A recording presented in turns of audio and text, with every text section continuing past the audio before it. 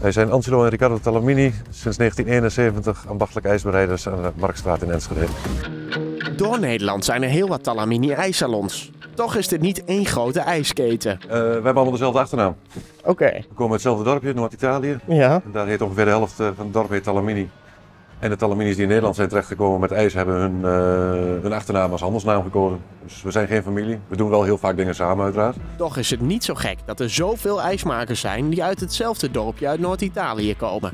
Dat is eigenlijk heel simpel. Er de, de, de, gingen een aantal gingen naar uh, Oostenrijk, Duitsland, later naar Nederland om met ijs te beginnen. Namen personeel mee uit het dorpje waar armoede heerste.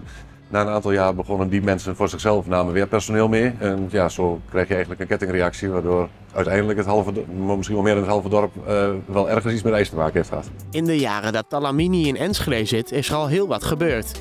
Toch is er wel een verhaal dat Riccardo Talamini altijd is bijgebleven. Ik denk dat de leukste was een dame die drie jaar geleden hier de winkel binnenkwam wandelen. Een oudere dame. En die, zei in plat, die vroeg in platwens, ben je nieuw hier? En ik was even aan het rekenen, dat was mijn 25e seizoen fulltime in de winkel. en toen? toen vroeg zij mij inderdaad of ik hier nieuw was. Ja. Dat, dat, vond ik wel een hele leuke. Ja. En die mevrouw komt, komt ook al jaren bij ons in de winkel. Het ijsmaken is er al op jonge leeftijd met een paplepel ingegoten. Als kind liep Ricardo al bij zijn vader door de winkel. Nou ja, als kind dan wil je eerst je eigen ijsje scheppen. Dan help je een keer aardbeien schoonmaken. En dan uh, een bak ijs naar achterin brengen of lege bak naar achterin brengen. Kleine dingetjes. En dan ben je een jaar of 12, 13. Ja, dan ga je ze een, echt een dag helpen. En toen op een gegeven moment was ik de school, de school een beetje beu. En toen uh, ging er een fulltime medewerker bij ons weg. Die plek heb ik ingenomen. En ik ben er nog. Niet elke zomer is hetzelfde. En ook niet elke zomer is even succesvol.